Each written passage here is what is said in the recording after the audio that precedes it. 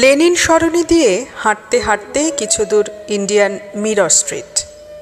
কলকাতায় আমি সাধারণত ওইখানটাতেই উঠি। কুমার সিং হলের সামনে কবি সঞ্জয় সাহার হলিডে হোমে। কমরেড গোপালকৃষ্ণ কর বললেন, এখান থেকে দু কদম এগোলেই তিন বাই চার সি তালতলা লেনের সেই বাড়ি, যেখানে কমরেড মোজাফফর আহমেদের সাথে থাকতেন নজরুল। তারপর তালতলা স্টপেজ থেকে একটু সামনে এগোলেই একটি ফলক। গা ছমছম করে উঠল। এখান থেকে কয়েক পা গেলেই পাওয়া যাবে তিন বাই চার সি তালতলা লেনের বাড়ি। সেখানে কবি নজরুল রচনা করেন তার যুগান্তকারী কবিতা বিদ্রোহী। তালতলা নজরুল জন্মশতবর্ষ উদযাপন কমিটি চব্বিশে এপ্রিল উনিশশো নিরানব্বই। আমার ধমনী শিরায় বিদ্রোহের রক্ত প্রবাহিত হতে থাকল। গোপালদাকে বললাম, যাব। কোথায়? ওখানে। বিদ্রোহের সুতি ঘরে। গোপালদা বললেন, এখন হবে না। আমার ভীষণ কাজ পড়ে আছে। অন্য একদিন যাবক্ষণ গোপালদা চলে গেলেন। আমার ত্রস্ত পা দুটো আস্তে আস্তে করে এগোতে থাকল সামনের দিকে।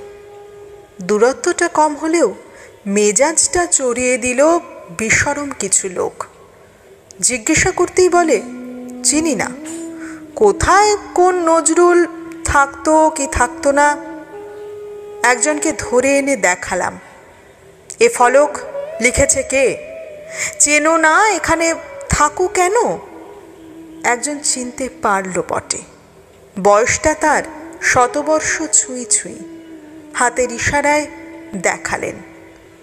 আর একটু এগো, তারপর হাতের এদিকে। ওখানে তো দেখার মতো কিছু নেই। কেন যাবে? তারপরও গেলাম। বাড়ির সামনে আরেকটি ফলক। তার সামনে পার্কিং করা কতগুলো গাড়ি। একজন পৌরসংস্থার জলের পাইপ দিয়ে গাড়ি পরিষ্কার করে নিচ্ছে। আদ্যপান্ত বলে তবে জিজ্ঞাসা করলাম, দাদা, বাড়িতে কোনটি? উনি কোন ফ্ল্যাটে থাকতেন? তিনি গালগম্ভীর করে বললেন, অন্য কাউকে একটু জিজ্ঞেস করুন তো, দেখছেন তো কাজ করছি। দাদা, এই তো গুগলে ছবি আছে, ঠিক কোন বাড়িটি বলুন না? আরে ছাড়ুন তো গুগল ফুগুল কখন দেখি? সম্ভবত এই বাড়িটি হবে। দণ্ডায়মান অনুচ্চ প্রাসাদ। ছিমছাম কাঠের দরজা, রং লাগানো গোলাকার জানালার শিক, নতুন পলেস্তারা আর পেন্টিংয়ের নিচে ভ্রুকুঞ্চিত শত বছরের বয়সের বলিরেখা। জানালার শিক ধরে দাঁড়িয়ে থাকা এক কিশোরীকে জিজ্ঞেস করতেই খ্যাঁচ করে জানালাটা বন্ধ করে দিল সে। দরজায় করা নাড়লাম কবার। খুলল না।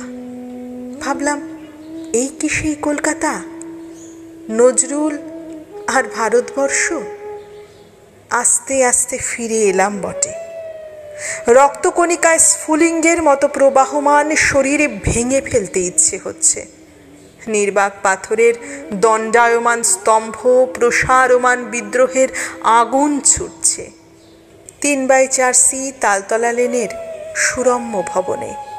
যে ভবন জন্ম দিয়েছিল বিদ্রোহী কবিতার, যে অন্ধকার কক্ষ তৈরি করেছিল বিদ্রোহী নজরুল আর কমরেড মুজফ্ফরের।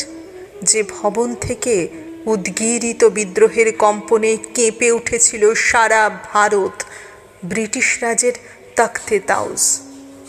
ওয়েস্ট বেঙ্গল, সে ভবনের সামনে দারোয়ান রাখেনি কেন? কেন এখনও হেরিটেজ ঘোষণা করা হয়নি তাকে? কেন? কেন এখনও নিবিড় এ প্রকোষ্ঠের জাদুঘরে নিষ্প্রদীপ সে দ্বীপ জ্বলছে না? প্রজ্বলনের শিখা হয়ে, চেতনার মহামন্ত্রে কেন? কেন কেন কেন কেন?